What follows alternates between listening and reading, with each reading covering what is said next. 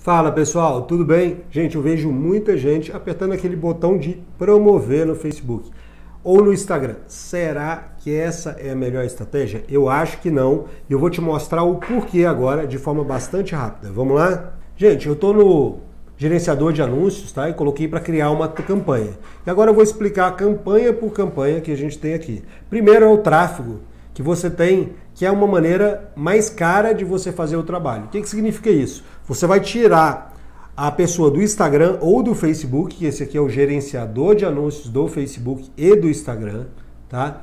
Do seu local. Então o que, que significa? Ninguém gosta de indicar uma outra loja. Quando você vai indicar, você vai cobrar mais caro. É isso que o Facebook faz. Envolvimento com a publicação é quando ele mantém o patrocínio dentro do Facebook ou do Instagram. Isso é uma maneira barata de você manter o engajamento com o seu cliente.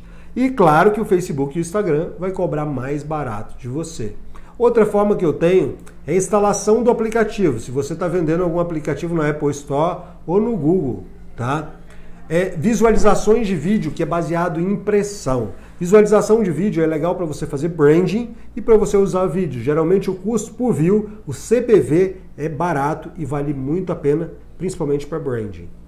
Geração de cadastros é se você estiver fazendo um relacionamento através de e-mails ou até mesmo dentro do Facebook. E mensagens que você vai fazer uma propaganda para chegar pelo Messenger ou pelo WhatsApp. Essas são as táticas que você tem para utilizar o seu patrocinado. Recomendo fortemente que você faça todo o seu trabalho de patrocínio pelo business do Facebook e nunca por aquele botãozinho de promover o seu produto, porque senão você vai estar deixando dinheiro na mesa para os seus concorrentes. Até mais.